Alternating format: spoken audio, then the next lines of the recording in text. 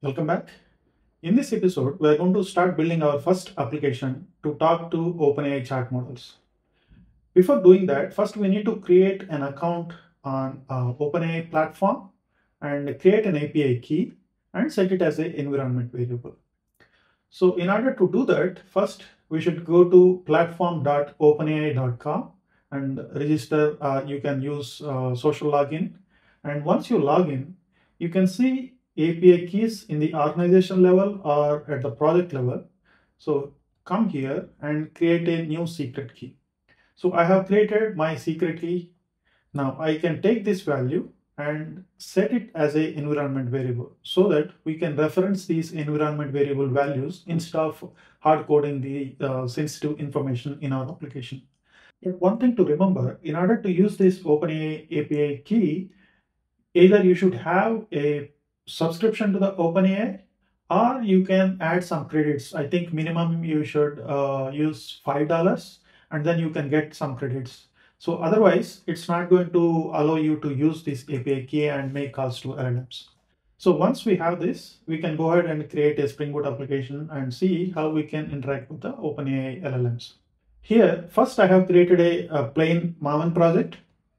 And if you notice, we have packaging type POM, which means uh, this is a root Maven module, which may not contain any code itself, but we are going to create uh, sub modules and each module we can demonstrate various Spring AI capabilities. So this is a basic setup we have. And now we can go ahead, if uh, you are using IntelliJ IDEA Ultimate Edition, we can directly create a module and select Spring Boot. And you can go ahead and select what are the starters you need and create a uh, module here. If not, you can go to uh, Spring Initializr, start.spring.io and here select Java language, Maven build tool. Of course, you can use Gradle if you like and uh, provide this project metadata. I'm going to use uh, Java 24, but anything uh, from Java 17 onwards works fine.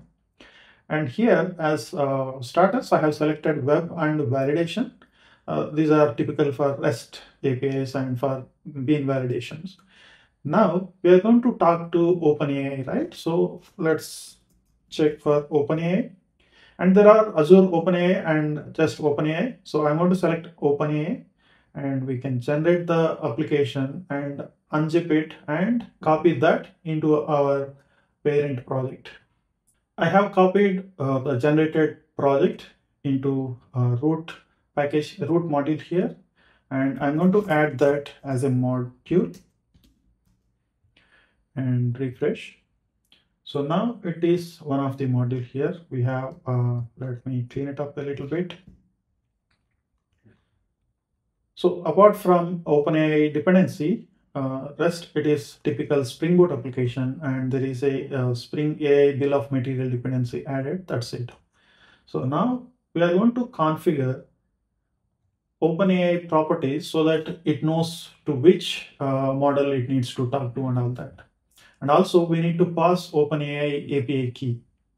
Now let's configure the OpenAI configuration properties. So here you can notice we have configured the base URL, API key and chat options model uh, and temperature. So uh, if we are talking to OpenAI, this is the default base URL. We don't even need to uh, explicitly configure that, but this is the important uh, API key configuration. We have already configured a environment variable with this name by setting the value to uh, actual API key. And this is how we can uh, specify what chat model we want to use.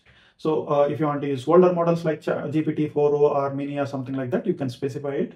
But I'm going to use the latest GPT-5 model. And one important property is temperature, which is uh, whose value should be between 0 to 1. So usually the higher the number, the response would be more creative and random. And the lesser the number, it is going to be more deterministic. And an interesting thing to notice is if you are using older models like uh, GPT-4o or something like that, you can configure a different value. But GPT-5 uh, seems to be supporting only temperature value 1. So we have configured that. And next, let's create a chat controller. So here I am creating a chat controller, which is nothing but a REST controller. And here in the constructor, I am trying to inject this chat client builder which is going to be auto configured by Spring AI. And inside the constructor, I'm simply calling the build uh, by using all the defaults and I'm instantiating the chat client instance. So if you want to provide any other customizations, you can do that. You can uh, specify what is the default uh, system prompt. And if you want to specify any advisors that we're going to talk later. So all that customizations you can do here and the chat client can be used to make a call to LLMs. So here is one interesting thing. Let's say you have multiple such controllers and you want to initialize chat client with different customized uh, configuration. You, you should be doing like this. Otherwise, you can create a configuration class and try to uh, provide a bean instance by taking the builder and then uh, doing all the customizations and then exposing that as a bean and you should be able to directly inject that chat client instance itself. But uh, for now, let's go ahead with this approach itself. And here we have a uh, post API endpoint and we have a, input record, output record. For the input, we are simply taking the user prompt, which should not be null, uh, should not be blank. And once we have the user prompt, we are uh, calling chat client.prompt and pass the whatever the user entered prompt. And here we are making the call. And once we got the response, we are calling this content method, which is going to return the uh, LLM response as a string.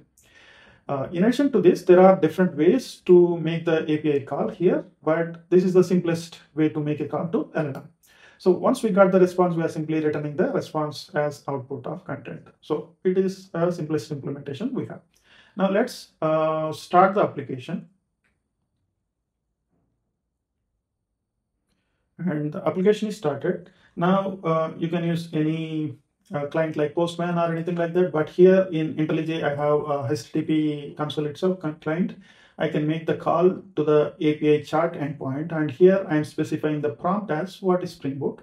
Uh, let's see what LLM is going to respond with. So here you can see uh, Spring Boot is an opinionated framework built on top of Spring ecosystem. Uh, so we got the response from uh, OpenAI LLM. So we have built a simplest uh, chat application. I would say it's kind of a hello world of AI uh, based applications. Uh, an interesting thing is uh, Spring AI is internally taking care of making uh, REST API calls to the LLM models and all that. But if you want to know what is going on behind the scenes, uh, what kind of inputs our application is sending to LLMs and what kind of a response we are getting, a simple option is to inject an advisor to this chat client so that it's going to log what is the input we are sending and what is the response we got from LLM. And if you know from the Spring framework itself, advisor is kind of a technology from AOP, which is going to intercept the uh, request and add the custom logic. And once we got the response, we can add some more logic. So uh, out of the box, Spring AI provides this you know, uh, simple logging advisor, which is going to log the input uh, request and responses. So once we set this, we also need to enable uh, log level for uh, this. So here, uh, ORG Spring Framework AI Chat Client Advisor, uh, set it to debug. Okay, now with this configuration, let's start and again make the API to the same API endpoint. This time we can see, so our uh, logging advisor log this chat client request, which contains so what is the prompt message? The user message is what is Spring Boot and uh, it also specifies other properties like uh, uh, what is the model we are using and um, what is the temperature we set. So all the inputs that we are using for making a call to uh, it is logged. And also once we got the response, we simply extracted the actual text response. But in addition to that, it also returns a lot of other data like uh, what, what is the model uh, used and how many tokens are used and all that. So uh, if you want to check what what is going on behind the scenes, this is the simplest, uh, simplest option that uh, to enable this uh, advisor and you will be able to see a lot of uh, data that is going on behind the scenes. So basically this is the response we just extracted. But in addition to that, there is a lot more things going on. So I would say this is enough for this uh, episode that we get to know how to make a call to OpenAI by specifying the properties like this, and we are able to chat with OpenAI. In the next episode, let us see instead of talking to OpenAI itself, there are other OpenAI compatible uh, LLMs like Grok, uh, even Gemini.